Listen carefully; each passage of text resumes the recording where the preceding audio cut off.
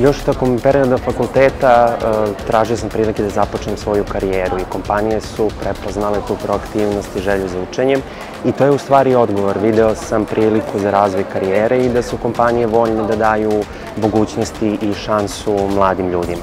Primer za to jeste 2018. godina kada sam se priključio tada kompaniji Telenor, sada Jetel i samo nakon šest meseci prakse se i zaposlio i od tada radim i vodim veoma važne i velike projekte u firmi. I Jetel je to prepoznao jer sam prethodne nedelje dobio nagradu za najboljeg projektnog menadžera u kompaniji, koje meni puno znači jer govori o projektnim rezultatima i o trudu i zalaganju.